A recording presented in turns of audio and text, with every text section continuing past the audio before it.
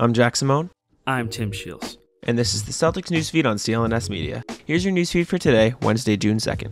The Celtics season came to an end last night with a 123 109 loss to the Nets. However, the real news today comes in the form of big front office changes.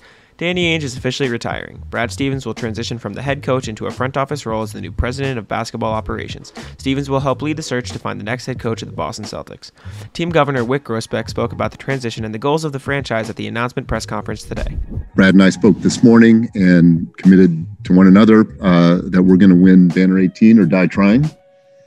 And that's the way Brad feels about it. That's the way I feel about it. And all of us here at this podium believe that uh, Brad is the person to lead us forward on the basketball side uh, as we go after that lofty goal.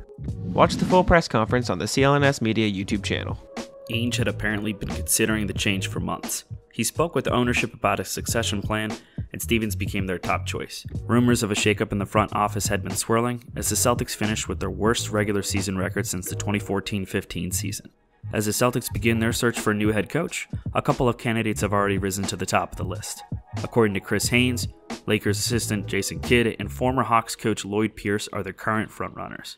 The Celtics formally announced the change via the team's Twitter with quotes from both Ainge and Stevens. Ainge said the past 18 years have been a thrill of a lifetime, while Stevens was quoted saying that he is excited to tackle his new role. That's your Celtics newsfeed for today. Don't forget to tell Alexa to give you your Celtics newsfeed for these audio updates on the seas.